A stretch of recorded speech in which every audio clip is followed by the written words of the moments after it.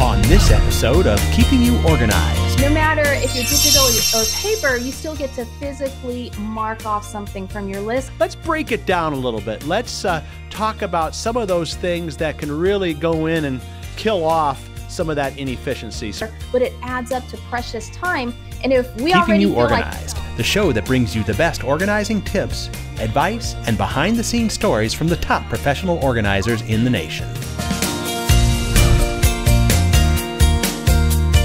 Download at iTunes or visit smead.com forward slash podcast.